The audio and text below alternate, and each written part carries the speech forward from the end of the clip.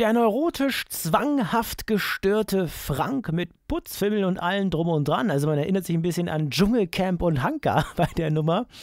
Frank äh, versus die Taube und das Thema ist Sicherheit am Arbeitsplatz und das ist wirklich eine richtig geile Nummer, richtig lustig und dass man hier sozusagen einen deutschen Offsprecher äh, oder Offsprecherin mit drin hatte, äh, top sozusagen, also äh, Wahnsinn. Es war wirklich total lustig und das Lustigste fand ich das mit der Taubenverschwörung, das war richtig geil, aber es war wirklich spielerisch geil umgesetzt. Die Puppe sah auch geil aus, die ganzen Utensilien und so.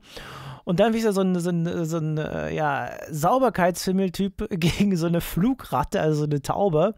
Das ist echt gut durchdacht, wirklich gut überlegt und wirklich witzig und lustig. Also meines Erachtens nach war das eigentlich äh, so im Sinne von, was man eigentlich von so einem Puppenspiel erwartet, sagen, was ja lustig und komisch sein soll und gut gemacht sein soll. Das war wirklich richtig Puppenstars, richtig gute Nummer und eigentlich in dem Sinne die beste Nummer des Abends, jedenfalls bis zu dem Punkt. Wobei man sich auch fragen muss, naja, die kommen aus New York, wo haben die denn da von der deutschen Puppenstars-Sendung gehört? Ah, ich würde eher behaupten, Puppenstars hat die angeschrieben, so nach dem Motto, könnt ihr nicht mit eurer geilen Nummer vorbeikommen.